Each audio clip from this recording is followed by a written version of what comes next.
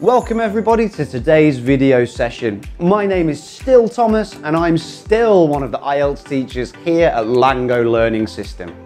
Our online video sessions are designed to help you improve a certain aspect of one of the four key competencies for your IELTS exam. In this case, speaking. Are you a Luddite, a technophile? Regrettably, even if you are, you still need to know how to talk about tech especially if you're someone who's going to take the IELTS speaking test soon.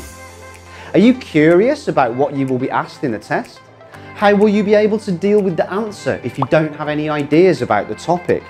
Don't worry, if you stay till the end of this video, I'll provide you with a few sample answers and some powerful expressions that you can use for this topic.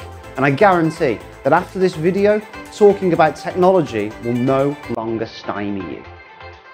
Now let's have a look at some part two example questions. Now, have a look at the card and prepare a monologue. Describe your favourite gadget. You should say what it is, when did you get it, how often do you use it, and say why it's so important to you. I've got quite a few gadgets at home, some of which were bought for me and others which I bought myself. My desktop computer was given to me by my parents when I was a high school student in order for me to be able to study more conveniently. The most important piece of technology I bought, however, was my laptop. I bought it with my first month's salary I received after graduation. It's integral to my life because I use it for work and entertainment, as well as keeping in contact with other people. At first, computers were very confusing for me. Rocket science.